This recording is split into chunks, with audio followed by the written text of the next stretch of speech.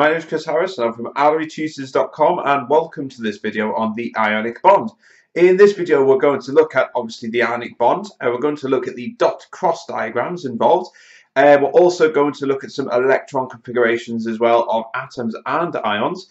Uh, the crucial equations as well, we have to go through them, half equations and ionic equations and also go through the physical properties. So you might be thinking, well, the ionic bond, you know, I've done this at GCSE before, what's the problem, how difficult can it be? And the answer is it's not really that difficult, but this video is really going to go through to make sure that your answers are absolutely squeaky clean in the exam uh, and that you can score maximum marks by writing the correct terminology and making sure that your equations are absolutely spot on. So we're going to start by looking at the uh, cross diagram of an ionic bond. So you can see here that we've got two atoms here. We've got sodium and chlorine, which is a very common ionic compound. Sodium atom and chlorine atom. The sodium atom has the electron configuration of two electrons in the middle, eight in the next shell, and one in the outer shell. So it's in group one. Now the A-level electron configuration is 1s2, 2s2, 2p6, 3s1. Uh, this is chlorine. You can see we've got two in the middle, eight in the next shell, and seven in the outer shell. It's in group seven. So group sevens uh, will have seven electrons in the outer shell, and it has this configuration here: 1s2, 2s2, 2p6, 3s2, and 3p5. Now, an ionic bond occurs when an atom wants to try and get a stable configuration, stable electron configuration. So to do that, um, a metal atom can lose one electron and donate that to the chlorine atom so it has a full shell of electrons. Now, the group number really depends on uh, the type of ions that you form. So for example, all group 1 uh, elements form 1 plus ions uh, this is because they lose their outer electron and what's left behind is a positive charge. Group 2s form plus 2s, group 3s generally form plus 3s, but there's a few elements further down which uh, don't quite follow that rule, but you don't need to worry about them, thankfully. Uh, group 4s are plus or minus 4. Um, they've got no preference whether they lose or gain 4 electrons because they're halfway in between.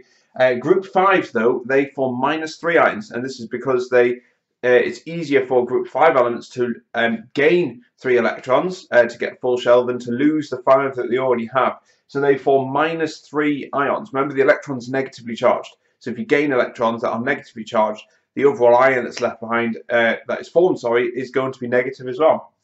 Group 6s form minus 2 ions and group 7s form minus 1 ions. So looking at this then, um, you can see sodium's in group 1, has 1 electron in its outer shell, so it's going to form a 1 plus charge. Now what it does is it gets rid of this outer electron here, so we'll get rid of that blue dot there. Um, we're going to transfer it across over to here onto the chlorine, so it gives up that electron there. So what we form is a charge, and how we represent this in chemistry is we draw a dot cross and we put a square bracket around it, uh, and the sodium forms a plus charge. Chlorine has gained the electron that came from sodium, so we put a square bracket around there, and we put a minus charge on there. Now, the actual ionic bond is not the actual transfer of electrons. The bond is actually the attractive force of the ions that have been produced as a result of the transfer of electrons. So sodium is positively charged and chlorine is negatively charged. Now the words we're looking for in the exam is an electrostatic attraction between oppositely charged ions. So these are the words that you need to use to describe an ionic bond and they form giant ionic structures like this, huge cubic structures where each ion, each oppositely charged ion can effectively, in some cases like sodium chloride in particular, can surround themselves by six other oppositely charged ions, one at the top, one at the bottom, one at that side and one at that side. So very, very, very stable, lots of electrostatic forces and we'll come on to the um, physical properties in a minute and how that actually comes into play. So we'll just go through the electron configuration of these now for the ion. Now you can see here that we've lost the electron from sodium. So the electron configuration here is 1s2, 2s2, and 2p6. So the 3s1 goes because we've lost it from the outer shell. Uh, the chlorine one has gained the electron. It's now negatively charged. So this is going to be uh, 1s2, 2s2, 2p6, 3s2. 3p6. Okay, so that's got a full shell, very stable configuration. Um, so the atom is nice and stable, the ion is stable. Okay, so we need to obviously write equations here. We need to know what's actually going on. Now this can be a little bit tricky. Um, got to make sure that you're writing them correctly. So we'll start with the um, sodium first. Now we started with sodium element, which is Na, and the sodium is going to form uh, Na plus uh, because that's the ion that we formed. And we're also going to produce an electron as well because the electron has effectively been removed. Now, the definition of ionization is that the elements are all in the gaseous state. Um, and when you do ionization topic uh, later on in A-level, um, you'll see the actual definition there. But I'm going to put our uh, symbols on here as well, our state symbols. So that's going to be gas, and that's going to be gas. So all elements in the gaseous state. Okay, so um, the next one is chlorine. Now chlorine goes around, this is the tricky bit, chlorine always goes around as a pair. Uh, it doesn't go around on its own. So when we're writing out chlorine, although we've drawn a dot cross that just shows one chlorine, we have to write Cl2. Uh, and this is going to form Cl minus because that's the ions we've made. Now you can see this isn't balanced because we had two chlorines here and one there. So we need to put a 2 in front of there to make sure that's balanced. Um, and as a result, this accepts an electron, but if we've got Cl2, uh, each atom is going to accept an electron each, so we need two electrons to be accepted. So we're going to put that there, plus two electrons. There you go. And again, all of this is in the gaseous state. So put gas and gas there. Okay, so there's our um, half equations. These are half equations because they only show us what's happening to one uh, element. We can combine these, though, to form what we call an ionic equation. And to do this, it's a little bit like a simultaneous equation. Um, what we have to do is just multiply uh, the top row here by 2.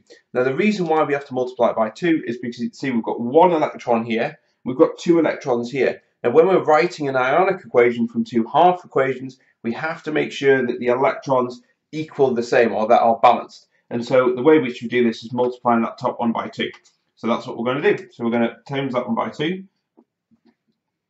And what that means is because if we multiply all of this by 2, we get 2 Na, 2 Na plus, and 2 electrons.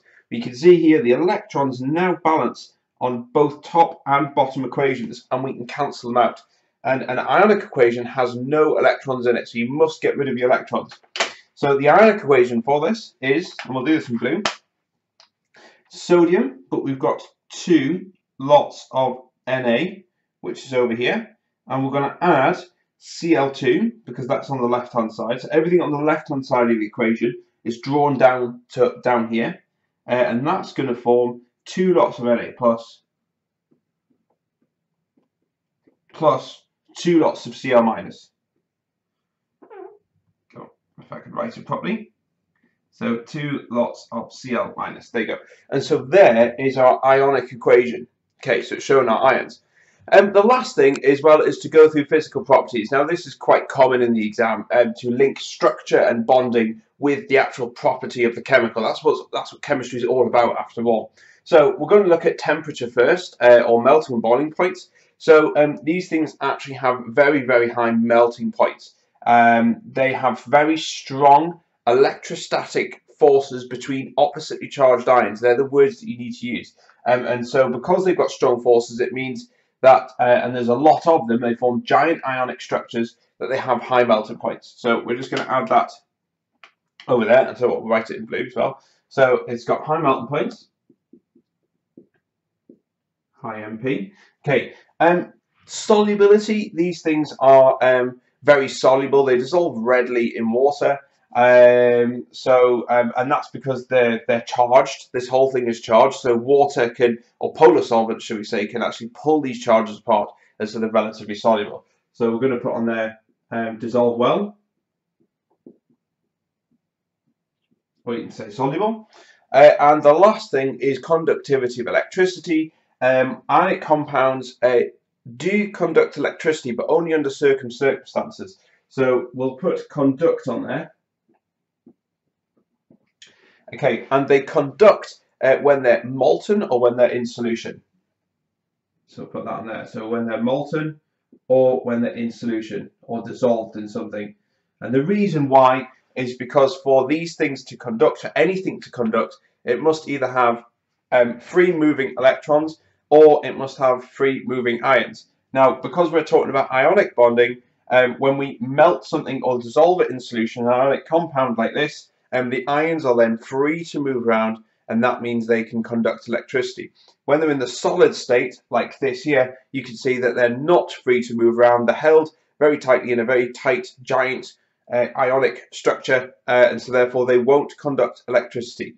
But um, there we go. There's the ionic bond. Make sure you get your equations right. You can write half equation correctly. Uh, make sure you know about the physical properties and crucially link them back to structure and bonding. It's very, very common for them to ask that. That's it. Bye-bye.